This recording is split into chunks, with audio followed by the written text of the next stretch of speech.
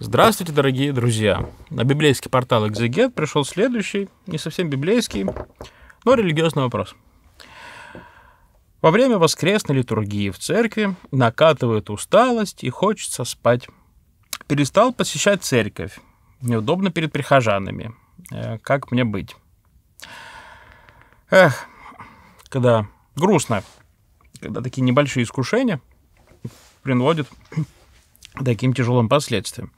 Ну, как-то не посещать церковь, потому что кого-то там стесняешься того, что тебя в сон клонит.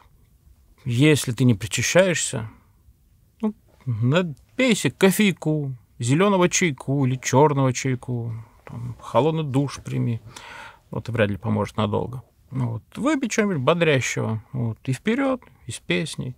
Вот я уже молчу о том, что хорошо было бы перед литургией спать, лечь спать часа на три раньше, телефон отложить. Я вас уверяю, и с 12 ночи до 2 часов ночи ничего такого не произойдет в мире, что вам срочно нужно было бы узнать. Свои новости, какие-нибудь книжечки, короткометражные фильмы или смешные видео про котят тюленей посмотрите в другой раз. Просто заставьте себя ложиться раньше перед воскресной литургией. В принципе, я так понимаю, речь идет о храме, где все друг друга знают, потому что на самом деле сесть там, на лавочку во время проповеди, там, это не проблема. Хуже, когда ты уж причащаться собираешься и лег поздно, не знаю, может, ты работаешь за компьютерами, старался там что-нибудь доделать до 5 утра. Естественно, ты в храме будешь читать, как сам нам было. Поэтому ну, отложите все ночные труды и работу перед воскресной литургией на другой день. Ну и, повторюсь, тонизирующие напитки — это наше все. А еще знаете, что мне помогало? Когда вот, даже без кофе. Когда устроился на клир распеть или читать. Когда ты действительно что чем-то занимаешься, или в алтаре пономаришь, или с книги читаешь, то сон проходит как рукой, даже если ты сильно устал.